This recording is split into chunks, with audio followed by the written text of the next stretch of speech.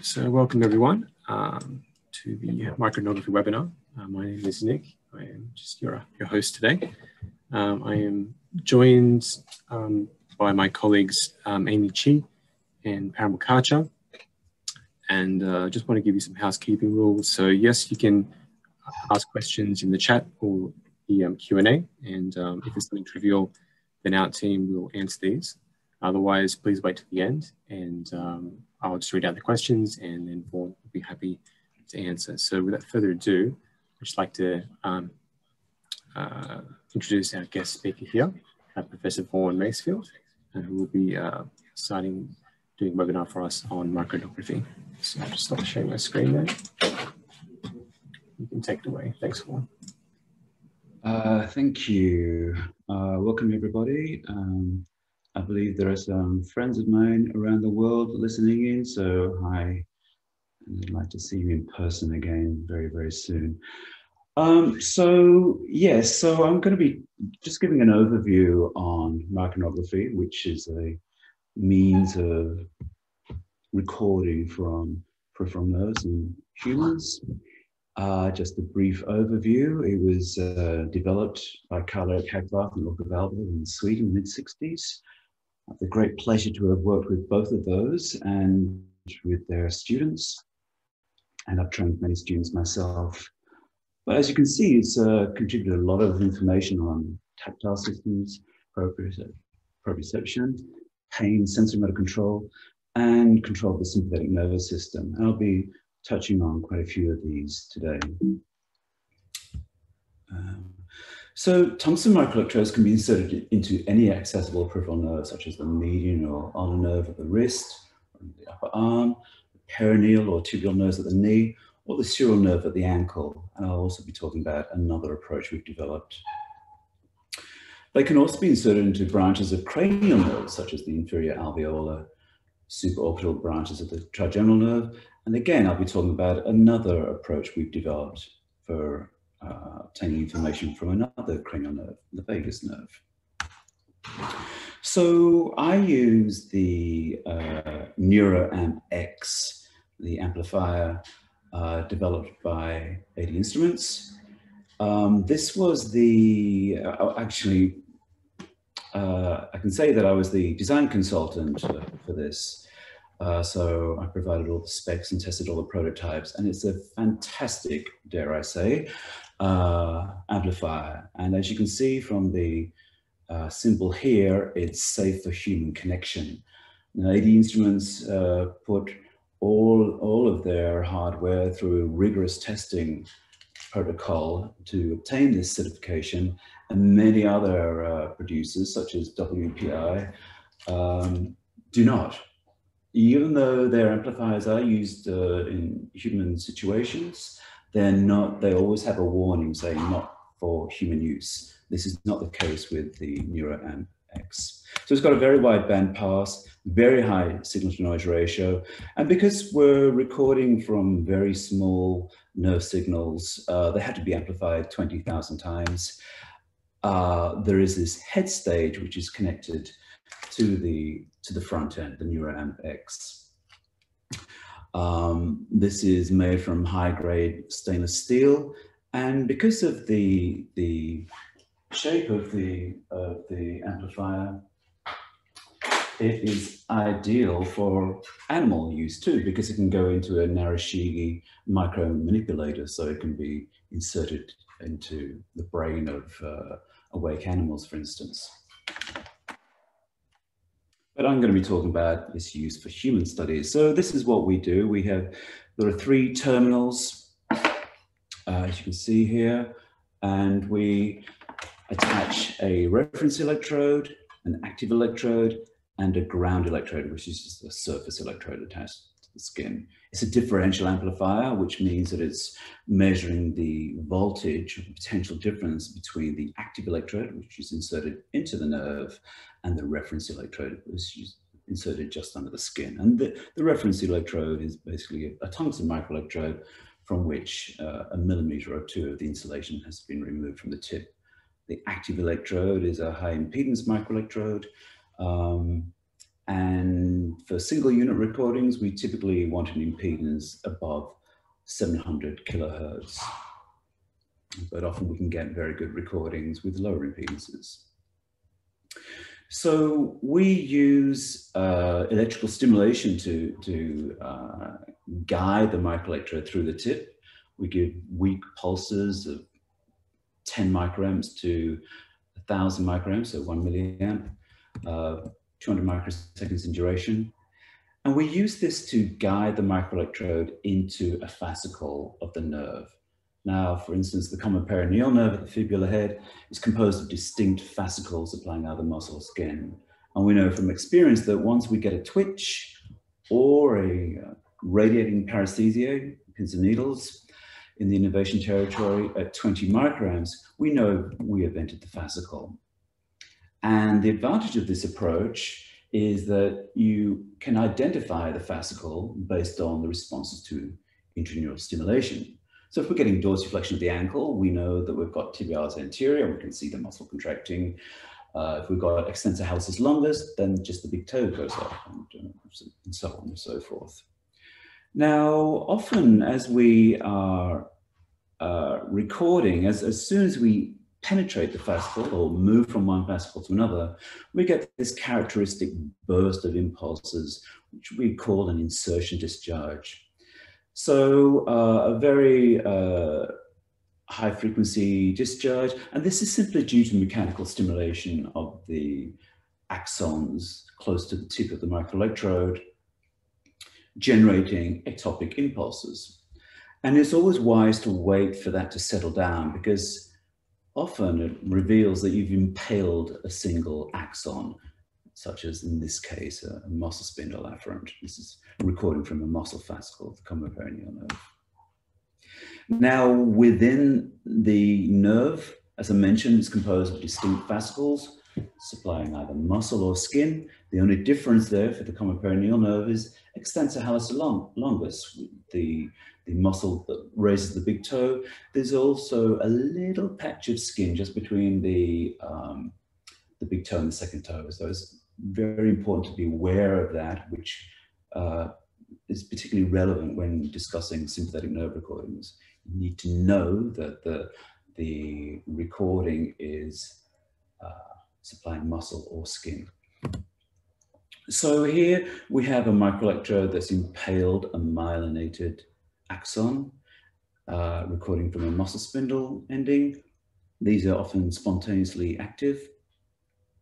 And down here we have a recording from a single uh, muscle vasoconstrictor neuron. I'll come back to, to these later. But first I'll talk about the myelinated axons. And as you can see, they have generate positive going spikes whereas the unmyelinated axons uh, generate negative going spikes. And that's just because unmyelinated axons, C fibers, do not have, by definition, the insulating myelin.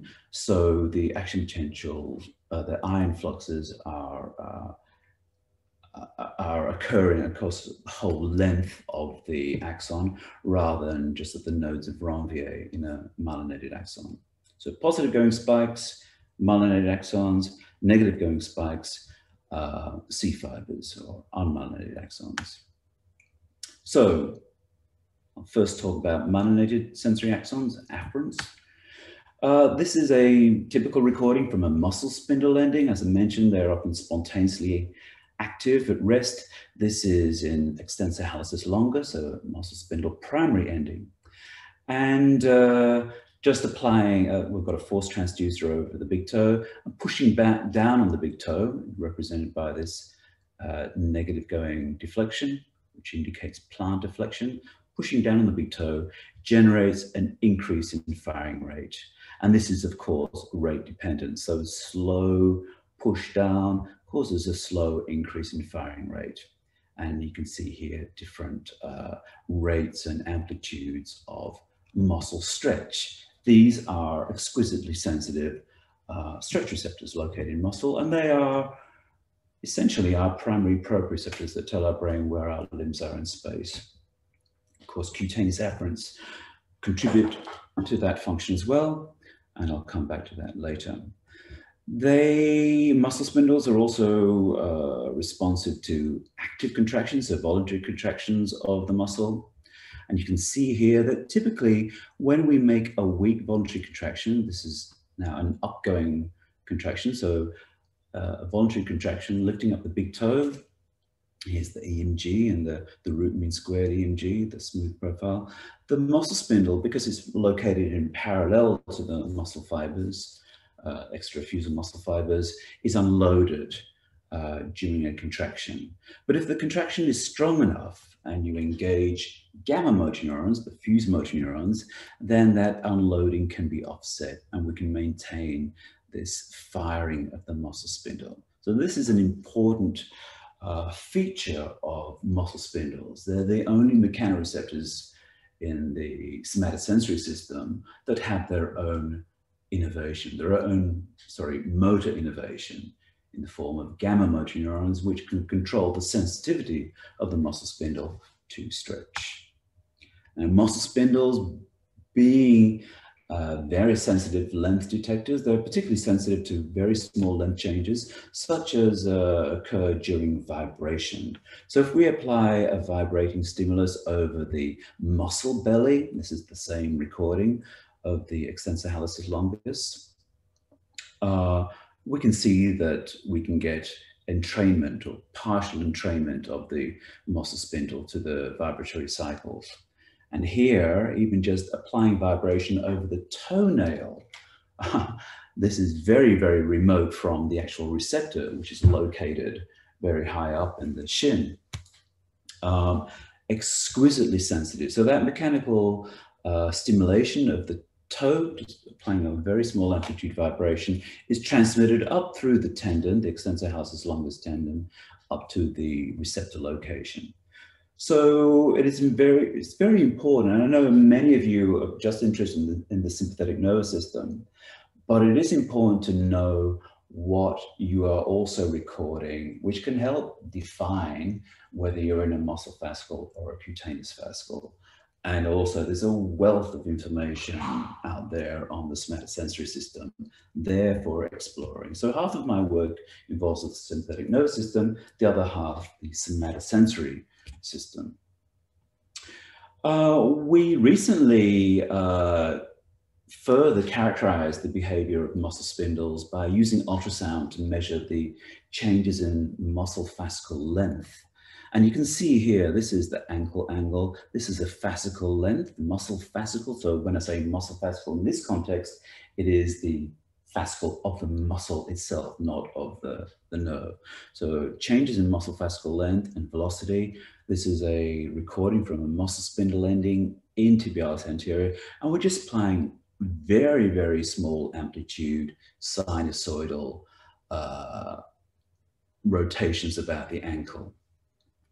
And we can see, as I showed you in that earlier slide, that uh, firing rates are encoding both fascicle length and fascicle velocity.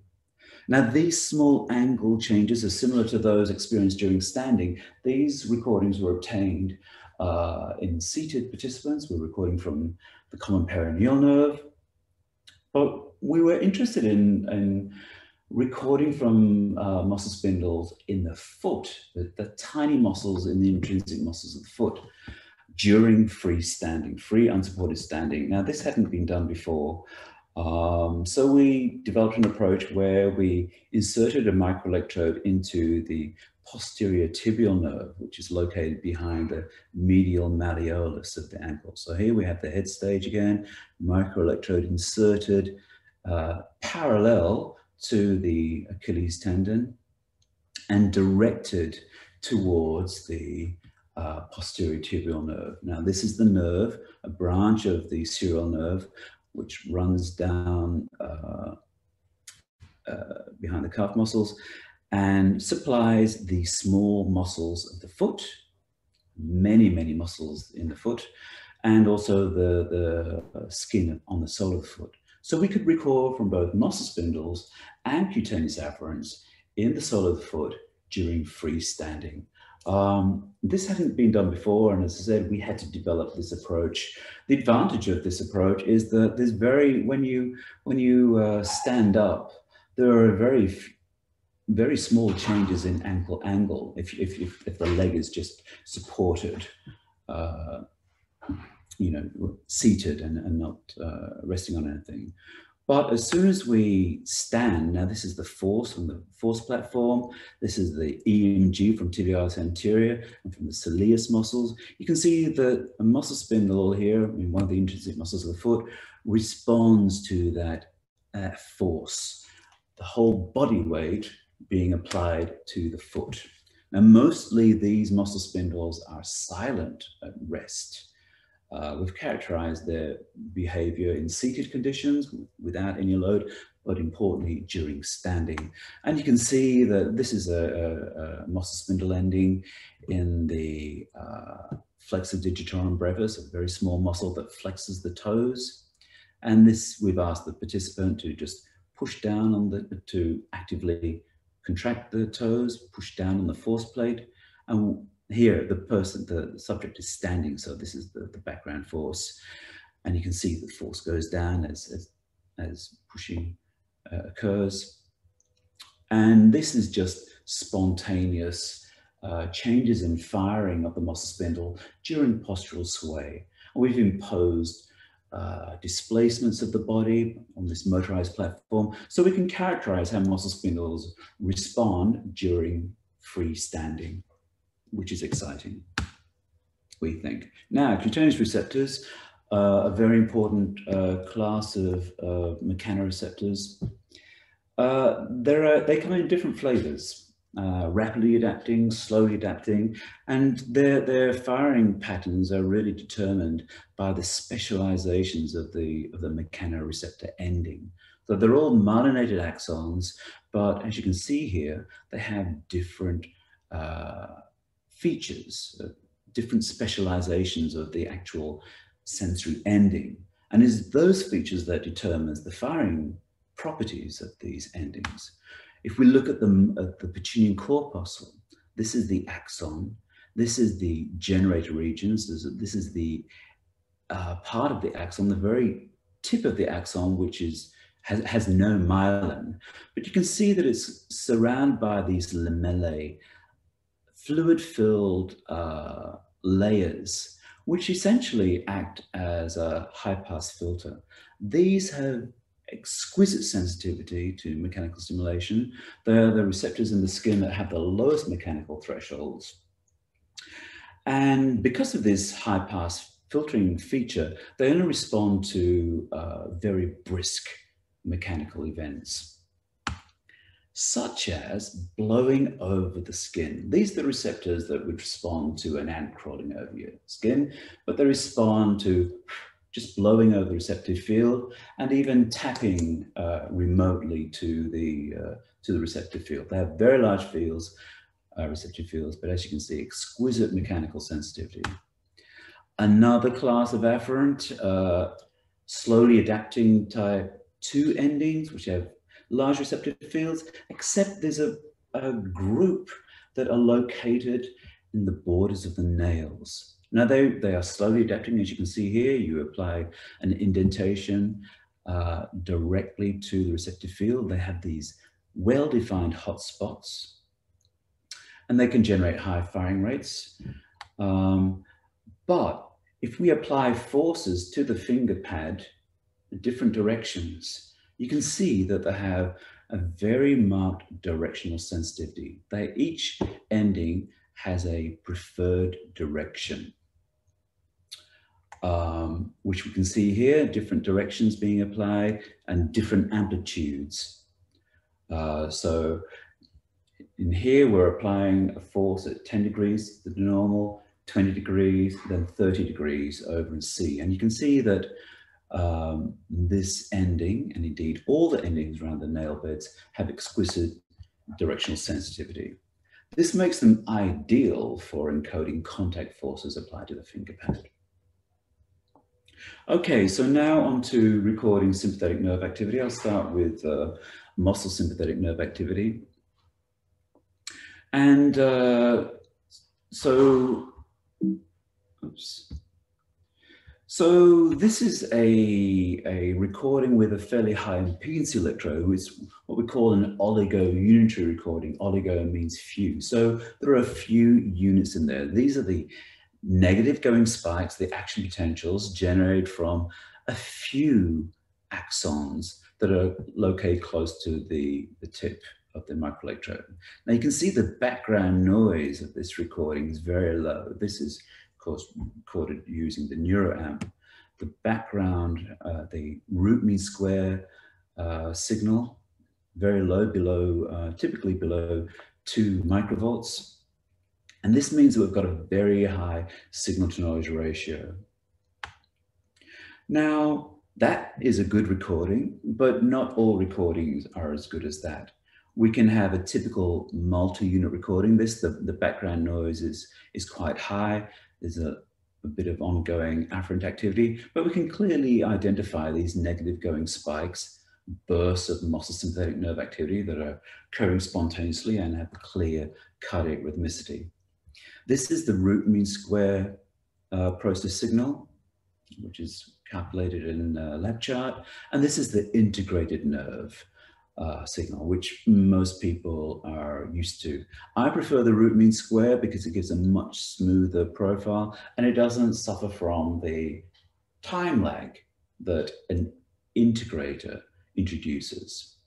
So an integrator will introduce the time constant is 100 milliseconds. It will introduce a time lag of 100 milliseconds, which is not of much consequence, but the root mean square being a moving average, there is no time lag. Now this is a, a typical multi-unit unit recording. On the right is an oligo-unitary recording, so just a few spikes firing. There's also these, these low amplitude spikes in the background. But when you have such a focal recording like this, you don't really see much in either the root mean square signal or the integrated signal. This is important to be aware of this because most people uh, are just interested in this signal.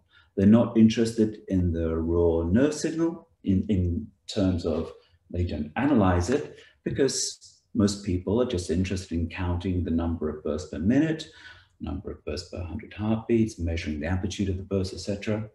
But that is difficult when you have a recording like this.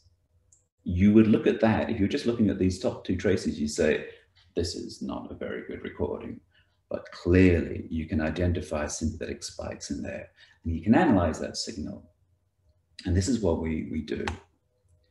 So, um, and it's also important to, to note when artifacts appear. So in this box, I've just uh, highlighted uh, in the RMS process signal. So again, this is a, we use a 200 millisecond uh, moving average. And you can see that this is straddling this spike, this large uh, electrical artifact. And we can clearly see that an artifact is defined as such because of its square shape, this rectangular shape. It doesn't have the smooth profile of a burst of sympathetic activity. So very important to, to be on the lookout for artifacts and to exclude them. Now, of course, most of you who are, well, all of you who are doing these recordings are very, very familiar with this. Um, now, we can use a lab chart, cyclic measurements uh, feature in lab chart to detect bursts of sympathetic nerve activity. So here I've just set up uh, within lab chart, within the cyclic measurements feature, uh, to, in another channel, using the, the, the RMS nerve, the RMS process nerve signal as the input or the source channel. And we set it up so it detects a burst every time a certain uh, threshold is reached. Actually, we use the, uh, you know, there are various presets. So if you're wanting to detect uh, R waves, you can use the ECG preset. Uh, if you want to detect skin blood flow from the uh, pulse plethysmograph. You can use that finger um, cardiovascular pulse uh, preset. uh, actually, if you use the respiratory airflow preset, that works really, really well for detecting bursts of muscle sympathetic nerve activity. Why? Because like airflow, these are slow events, relatively slow events, not like the R wave of an ECG. RMS uh, processed nerve signals, bursts of sympathetic activity are slow. So give give it a go. It works out works works very well for detecting bursts of muscle sympathetic nerve activity, which you can see here. It's done a pretty damn fine job of detecting these bursts. Uh, peak parameters is a great feature once you've got it. So you can either detect bursts with cyclic measurements, as I've said, and just count the number of bursts uh, in 100 heartbeats. You can count the number of heartbeats, of course. Or we, we would mostly use peak parameters to go through the file, uh, jumping from R wave to R wave. And we use the time, the time shift feature in LabChart to move the burst back in time so that they straddle the relevant R wave. So we, in this case, would move it back, you know, minus 1.25 milliseconds, depending on, on the size of the participant, uh, just so that we can bring the burst of activity close to the relevant R wave. And then using, uh, we can write a macro to jump from R wave to R wave and use uh, peak parameters just to measure uh, bursts. So here there's no burst, so you get very small amplitude signals. But here we've got a well-defined burst and we can measure the amplitude, the area, the, the width, rise time, fall time, anything that we like. And we can add that to the data pad. We can set that up to just automatically add to the data pad we can use the spike histogram feature, which is very, very nice to detect uh, negative going spikes of muscle sympathetic nerve activity. So here we've got the uh, spikes, sympathetic spikes. Down below, we're using the same program to detect the ECG events, the same program to you take the peaks of respiration down here. And then we can we can generate cross-correlation and autocorrelation histograms. So here we have the autocorrelation histogram of the ECG. So time zero is the first R wave. Here's the times of occurrence of the subsequent R waves uh, and the R waves preceding. So this is analyzing the whole file. We've got like 14,000, 15,000 uh, events here. And you can clearly see in the cross-correlation histogram above that we've got marked cardiac modulation. We can, get, we can quantify this. We can also uh, do this with respect to respiration. And uh, using this approach, we've shown that although skin sympathetic nerve activity is typically considered not to have cardiac modulation, if you use this approach, you can actually identify cardiac modulation.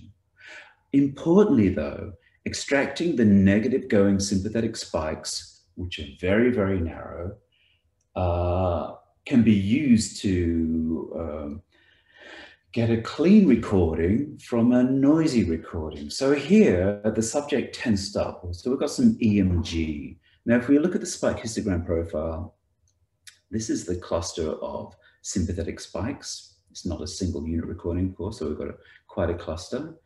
But the wider EMG spikes, this is time along here, are shown in this cluster. So using spike histogram, we can just extract the negative going spikes from the EM, EMG shown here, so the sympathetic spikes, and we can reconstruct the RMS process signal just from these extracted sympathetic spikes.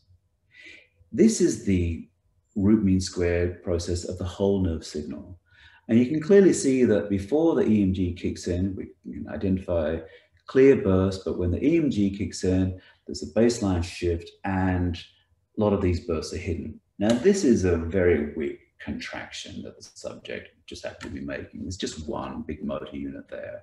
But often, of course, there's a lot of EMG and the signal is right royally swamped So you can use this approach to extract the sympathetic spikes.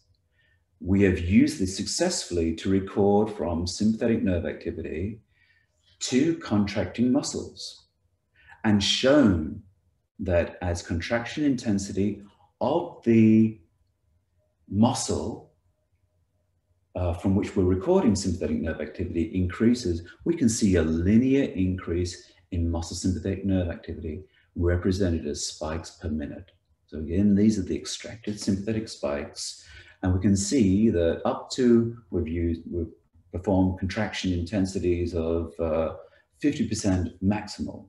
So very, very strong contractions. If you looked at the raw nerve signal, uh, it's totally swamped by EMG. However, you can go in there into the raw nerve signal and using spike histogram, you can extract the negative going sympathetic spikes from the positive going muscle spindle afferents, Golgi tendon organ afferents, and the broader uh, spikes of EMG of the motor units. So a very powerful analytical tool.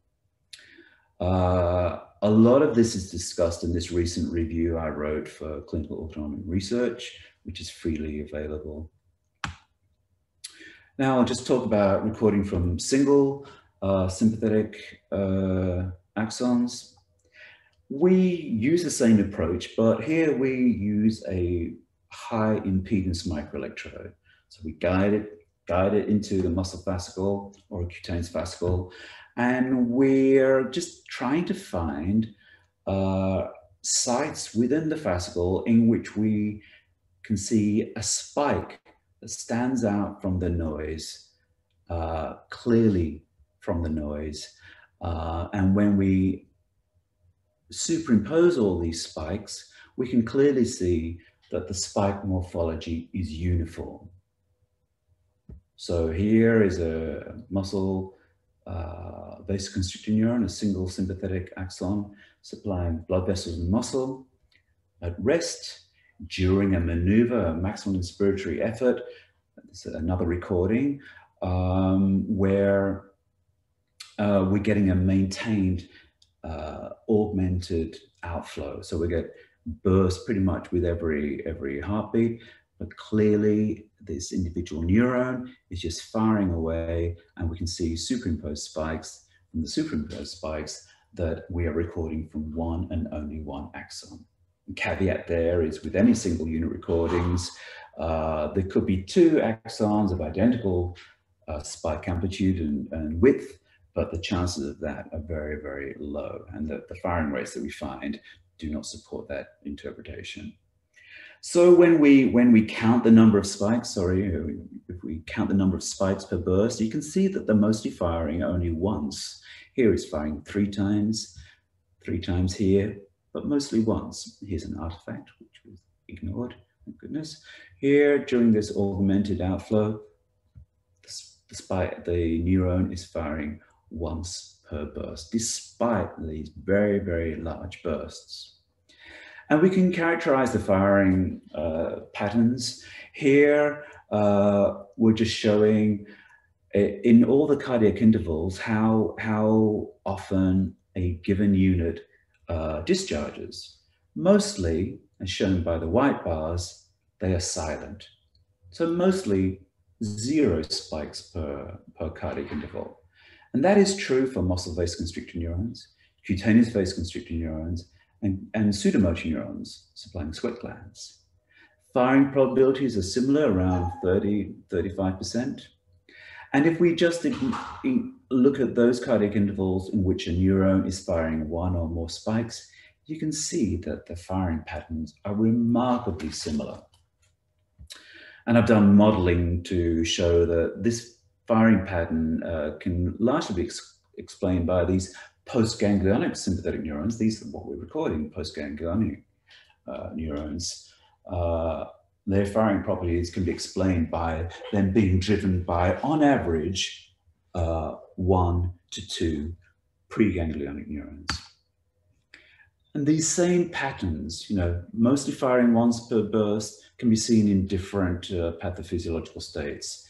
Heart failure, bronchiectasis, obstructive sleep apnea, chronic obstructive pulmonary disease, the mostly firing ones. But you can see here that in, in these three conditions, unlike heart failure, there is a, a shift towards multiple firing.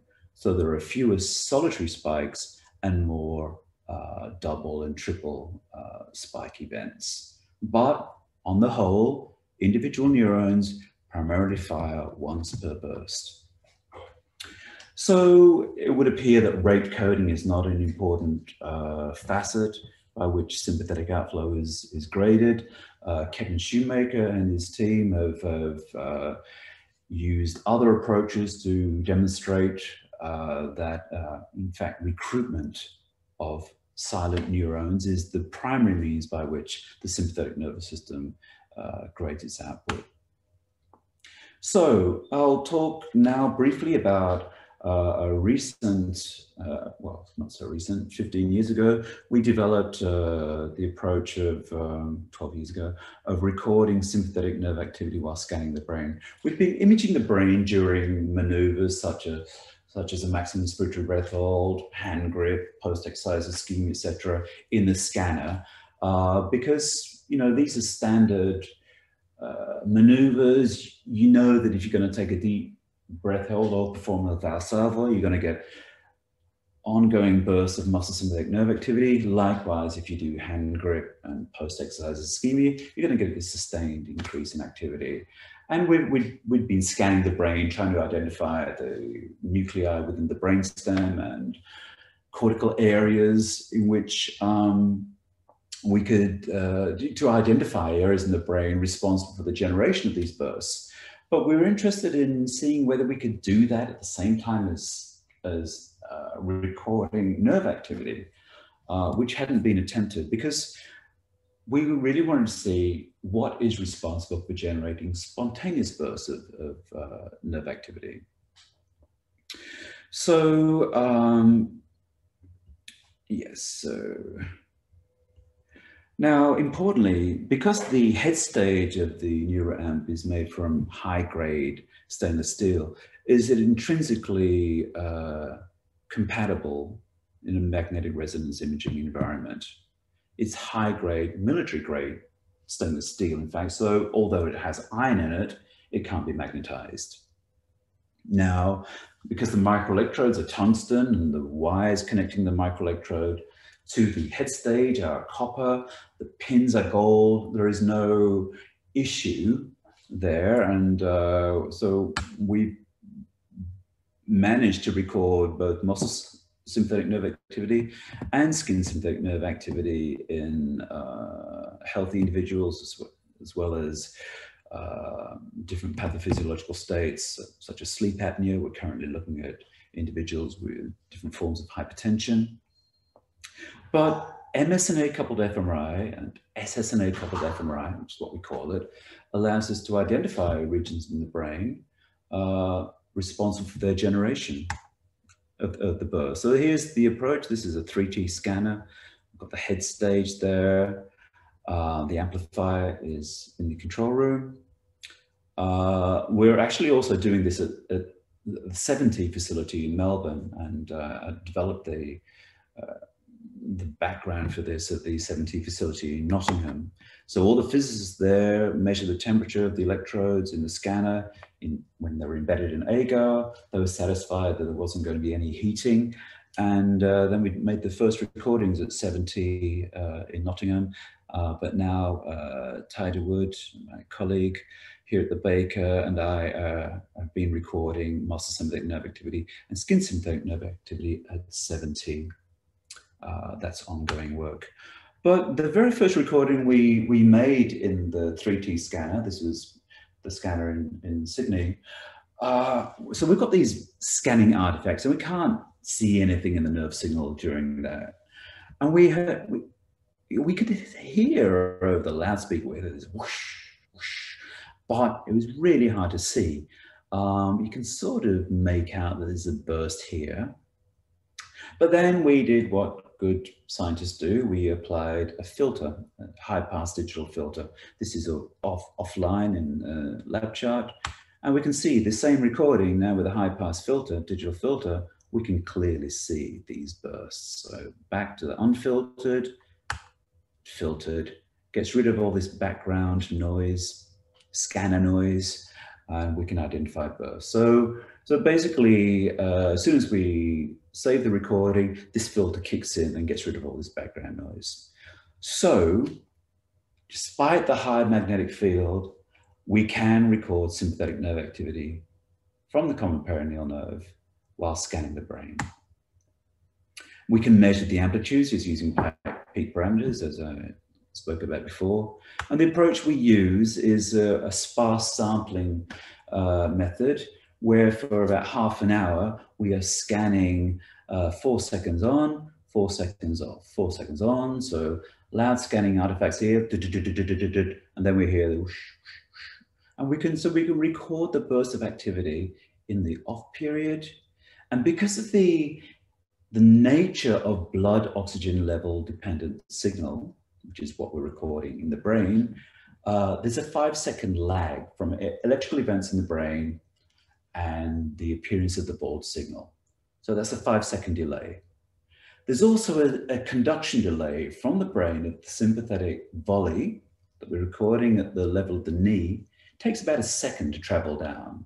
So five minus one is four seconds. So that's why we use this four seconds on, four seconds off, and we measure every second within this four second off period, uh, the bursts. So here we've got a burst and we're looking ahead in time, four seconds later, see what's happening in the brain. So this burst that was recorded in the periphery, we're looking four seconds ahead and seeing what lights up in the brain. What lights up is rostroventral medulla, uh, increase in signal intensity, warm colors, decrease cool colors, so decrease in uh, caudal ventrolateral medulla, nucleus tractus solitarius, we've identified the caudal pressor area. So these are the same areas that we, we know uh, operate in, uh, in animals, experimental animals. All this basic baroreflex circuitry uh, that is identified in the rat and the cat, etc., is present in humans. Bear in mind that the human medulla is basically the size of the tip of my pinky. So we're really pushing the boundaries. Uh, we can also identify areas in the, the cerebellum, ventromedial and dorsomedial hypothalamus, the insula, uh, and dorsolateral prefrontal cortex, interestingly. So this is an area that people hadn't really thought contributes to uh, control of blood pressure, but clearly it does. And in fact, we've been we using this knowledge. Uh, Ty and I have been, and, and our students have been uh, running a series of experiments where we're applying weak sinusoidal currents to the dorsolateral prefrontal cortex, and we can see that it causes modulation of sympathetic outflow to both muscle and skin, which is unpublished, but also very, very exciting. So we and so we can look, having identified all these areas in the brain, we can then go on and look at how they're connected to each other. So we use what's called functional connectivity analysis. So here we're looking at the ventromedial hypothalamus, which is uh, very strongly coupled to the generation of muscle sympathetic nerve activity. We basically put seeds here. So it's basically doing a multiple linear regression between this and all these other areas. And we oh, actually, we just plant the seed there and we can see what is functionally coupled. What is functionally coupled with the ventromedial hypothalamus is, importantly, rostral ventral medulla, you saw that in the brainstem. That is a primary output nucleus of muscle sympathetic nerve activity. And we know that from animal work, but also uh, our own human work. So this is strongly coupled to the hypothalamus, uh, as is the anterior insula, just on the left, curiously, the dorsolateral prefrontal cortex on the right, and also curiously, precuneus. And this is one of the most metabolically active areas in the brain its activity is high uh, when you're awake, it goes down during sleep. And we also know that muscle sympathetic nerve activity goes down during sleep, deep sleep, as does blood pressure.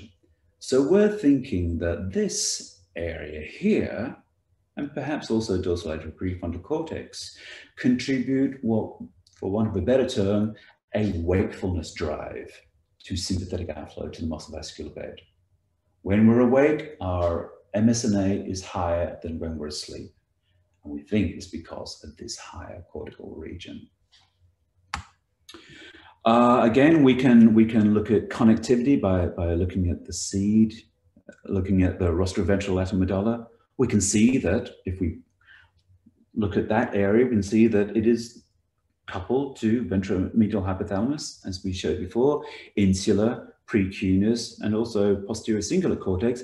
And also we can look within the brainstem. So it's also coupled to the dorsolateral pons, the midbrain periaqueductal gray, ventromedial hypothalamus is here, and dorsal medial hypothalamus. So very, very powerful uh, approaches, analytical approaches, which basically depends on the, the feasibility uh, really depends on using this MR compatible amplifier, the NeuroAmp EX. So finally, in the last 10 minutes, I'm just going to be talking about uh, an exciting uh, piece of work we started last year. We managed to get a few recordings before the big lockdown, COVID lockdown that happened in Melbourne and elsewhere, uh, where we couldn't do any experiments. But again, this was with uh, my colleague, Ty Dawood, and also uh, uh, Leah Wright here at the Baker Institute, an ultrasonographer, and a delightful colleague, postdoc from Italy, uh, Matteo Ottaviani, um, in which we used ultrasound to uh, record from the uh, vagus nerve. Now, a bit of background. We know a lot about how the sympathetic nervous system operates in humans, of in, in, in health and various diseases, but we know very little about parasympathetic nervous system. Most of that knowledge is very, very indirect uh, and is inferred, really, inferences from measurements of heart rate variability. So nothing direct. And even the inferences that people make about the low frequency content of heart rate variability, re reflecting sympathetic outflow to the heart, there is very little, essentially no evidence to support that. Uh, work done by Murray Esler here at the Baker Institute many years ago in which he measured noradrenaline spillover to the heart and tried to correlate that with low frequency heart rate variability, showed there's no correlation. More recent direct recordings of cardiac sympathetic outflow from uh, um, Clive May's group in the, the Florey Institute here in Melbourne. Uh, direct recordings of cardiac sympathetic nerve activity in the sheep. Again, no correlation to low frequency heart rate variability. Most people, on the other hand, would, would agree that the high frequency component, essentially respiratory sinus arrhythmia, reflects the cyclic withdrawal of vagal outflow to the heart. So the resting heart rate, as you're all aware, is kept in check by the vagus nerve. The intrinsic cardiac rhythm is much higher than the resting cardiac rhythm. So there's essentially negligible sympathetic output to the heart at rest anyway, and uh, but there is ongoing vagal outflow, which is responsible for keeping heart rate low, and that cyclical withdrawal is uh, responsible for the respiratory sinus arrhythmia we see. But until now, no one had recorded uh, from the parasympathetic outflow in humans.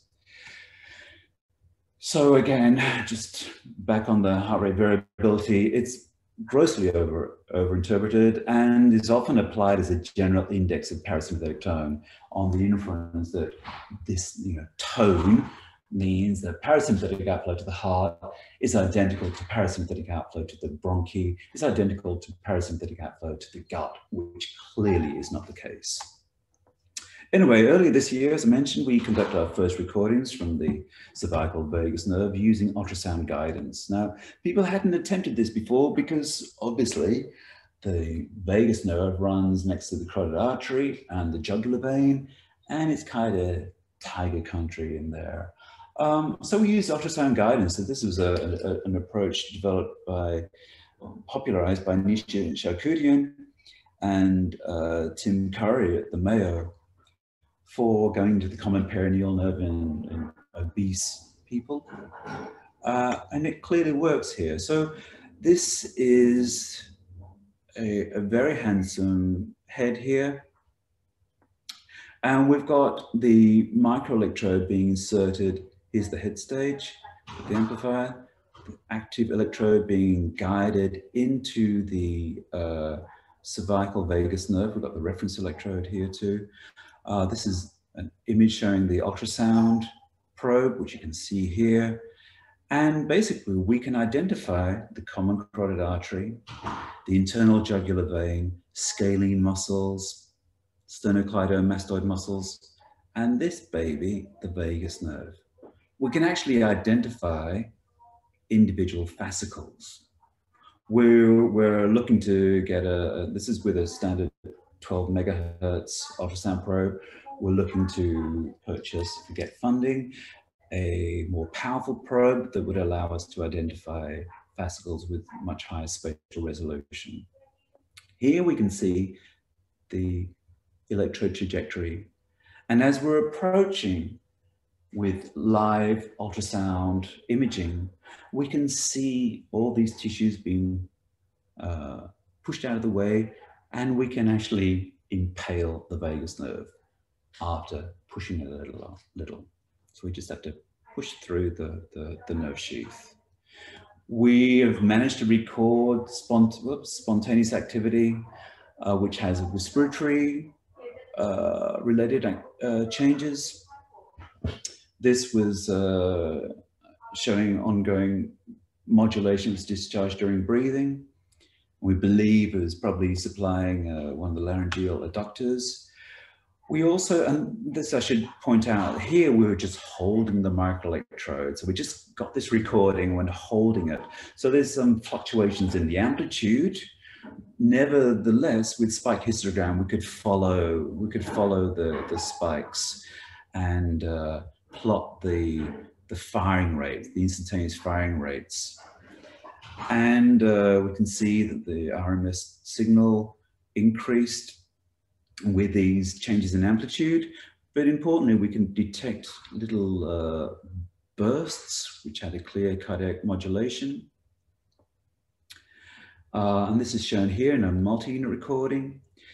Uh, so, so we think that this, this recording, because it had this inverse relationship to heart rate and a positive relationship to uh, cardiac interval, RR interval, you can see that they clearly superimposed here, that this was a spontaneously active uh, parasympathetic axon supplying the sinoatrial node. And this multi-unit recording, uh, we believe, various reasons that I won't go into, that it was uh, detecting multi-unit activity arising from the atria. So what are the applications of this? Well, uh, as I've shown, we can record from cardiac preganglionic parasympathetic axons direct to the sinoatrial node and measure their firing rates and discharge variability for the first time in humans. We can compare these to the known firing rates of parasympathetic, of, of sympathetic axons that we've been recording. We know that they mostly fire about up to one hertz, so 0.5 to one hertz. So sympathetic axons Postganglionic sympathetic axons have very, very low firing rates. Parasympathetic preganglionic axons, on the other hand, have high firing rates, and they're myelinated axons. We can examine how these firing properties are affected in, um, in different disease states, uh, different cardiac dysrhythmias. We can ask the question, does the vagus nerve play a role in limiting atrial fibrillation?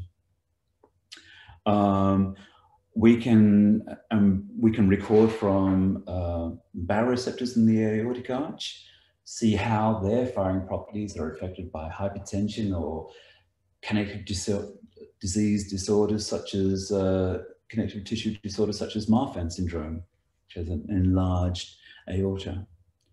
And by recording from the low pressure baroreceptors located in the atria, the contiguous veins, we can see how changes in posture affect their firing. So we're going to be doing resuming these experiments this year now that we're back from lockdown. Uh, having participants on the tilt table, get a recording, tilt them up and unload the low pressure baroreceptors. And we can look at how their properties change in POTS, for instance, postural tachycardia, tachycardia syndrome. And uh, we can obviously see how the parasympathetic axons going to the heart are affected during changes in, in posture. And uh, again, look at various uh, disorders of postural hypotension.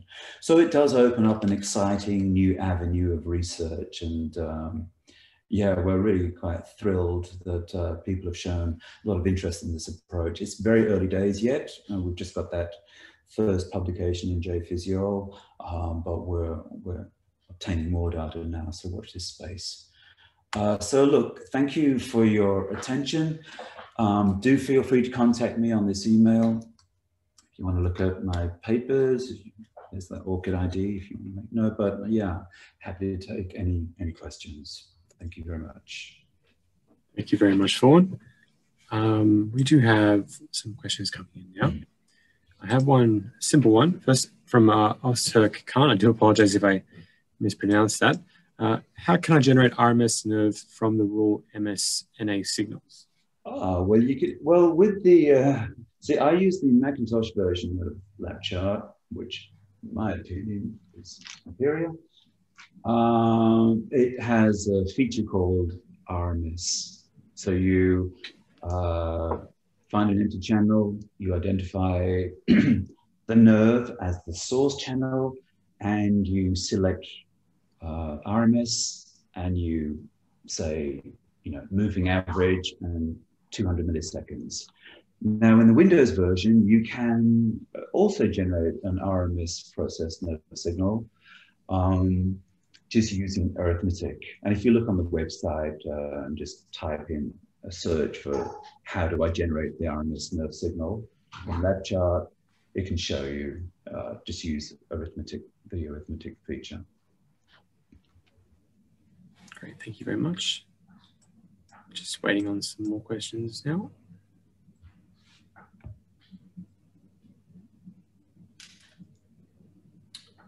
Pleasure. Okay, we have one from Eric Dubois. Uh, when recording from human vagus, can you definitely identify A delta from C fibers? Also, I guess the system work on afferent nerves, isn't it?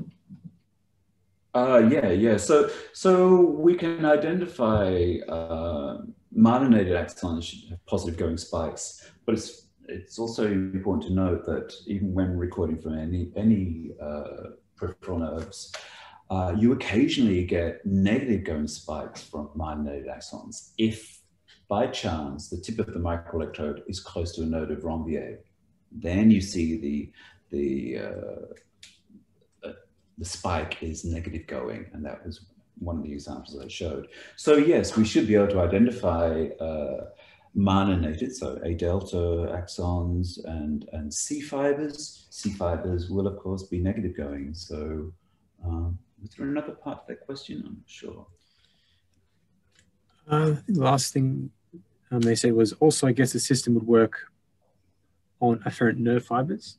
Yeah, yeah. Yep. So, um, yeah, so we believe we were recording um, from uh, atrial receptors um, so yeah, we can record efferent and afferent activity from the from the vagus nerve. Just a follow up there from Eric. Indeed, I guess it's in vitro, but can you assess can you assess the CV which allow to discriminate? No. Uh, sorry, uh, CV coefficient of variation. Uh, let's see if they can expand on that? Because I, I, can't see the question. It's just under chat, actually. Oh, okay, yeah, yeah. yeah.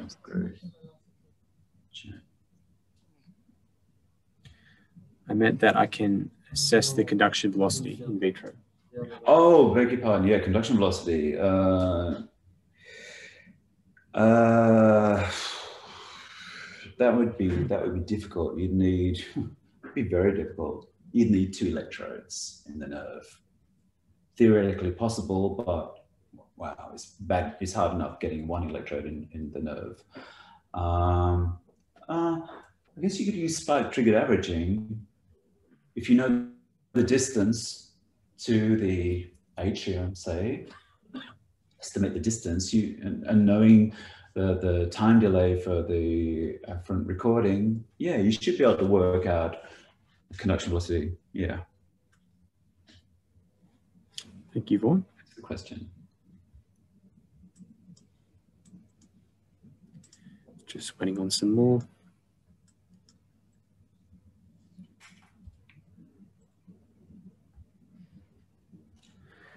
Uh, Eric has expanded here. Uh, I agree, very difficult in vivo. John Addock does it in vivo, but involves surgery to place the electrodes, so only used on animal models. Yeah, and in, in fact, when I did my my honors year, my first foray into research in the lab, I did uh, direct recordings from the vagus nerve in, in the rabbit, so surgically exposed cut the nerve and splitting individual nerve fibers in the paraffin oil bath and putting them on hook electrodes. So yeah, very, very different approach, uh, animal work versus humans. But of course, uh, we can get very rich information from uh, microelectrodes in humans. We can record from, as you've seen, single axons, both myelinated and unmyelinated, and uh, get a level of detail that is often typically only seen in experimental animal work. But thank you, thank you for your comments.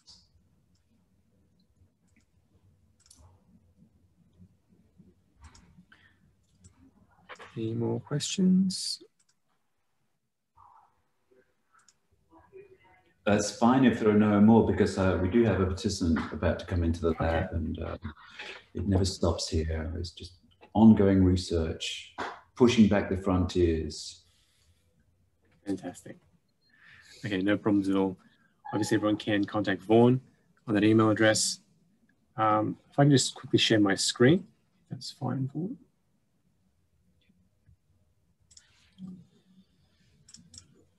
Um, if anyone wants to contact us, I'm more than happy to do that at ADI. Uh, we do have um, a sales team here and, all, and uh, for any of your uh, questions regarding the NeuroAmp EX, but I'm sure Vaughan will have a much better understanding of that than, than we have. Uh, but thank you very much anyway. Uh, all the best, Vaughan. So um, we look thank forward you. to seeing everyone to our next webinar. And thank you, Parimal, for organising this and uh, Nick for your support. And um, thank you everyone for, for tuning in. And yes, I, am always happy to to feel any any questions on uh, the analyses that that I've spoken about today. Um, but yeah, again, uh, if you look what's coming out, it, it is available online now, freely available online, clinical autonomic research, uh, a review article that I wrote on um, recording and quantifying sympathetic nerve activity uh, in humans. So uh, yeah, thank you for your attention, everyone. Yeah, thank you very much. Okay, all the best. Thank you, everyone. Bye-bye.